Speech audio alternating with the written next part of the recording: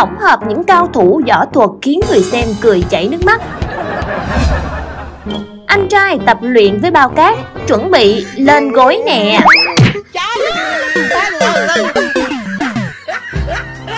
Ổng một cái chân té muốn xẹp bông Thôi hôm nay tập vậy chắc ờ, đủ rồi đó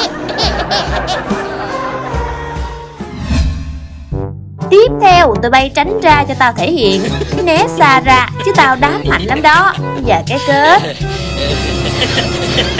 Trời ơi.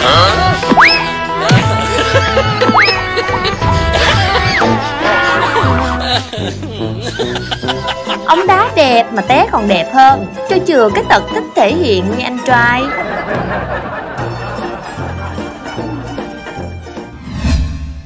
Còn đây, ông anh đeo găng tay đồ bài bản, Quay người tung cước á thị xin vĩnh biệt cô Ông quất cái chân vô cái cạnh bàn, Mèn đét ơi, nó thốn Sau cuốn này có khi nào giảng nghệ luôn không trời